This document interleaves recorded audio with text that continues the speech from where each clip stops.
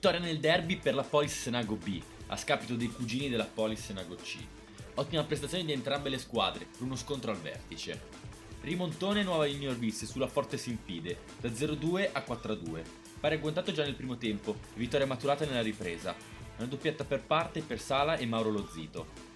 San Carlo Bettola non sbaglia contro il Don Bosco, trova la vittoria nel secondo tempo e aumenta la striscia positiva che dura dal 6 ottobre, un girone intero senza sconfitte. Vince di misura il Cimilissone contro Santa Maria, terza volta in cui la porta casalinga rimane inviolata.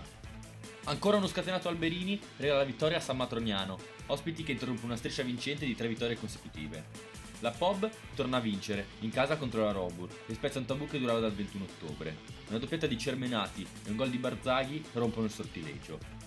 Pareggio tra Lazzaretto Vintage Café e Nord-Ovest, che completa la tabella del segno X del girone. Tutte le squadre hanno pareggiato almeno una volta. 27 gol in 15 partite. È questo l'impressionante ruolino di marcia di Matteo Alberini.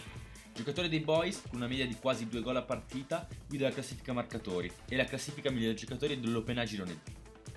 Grazie alla vittoria nel derby, la Polisenago B mantiene la vetta, seppur con due partite in più sul San Carlo Bettola.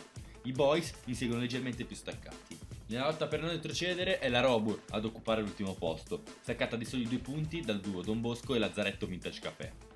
Nord-Ovest e Santa Maria si contendono il quintultimo posto, sinonimo di salvezza.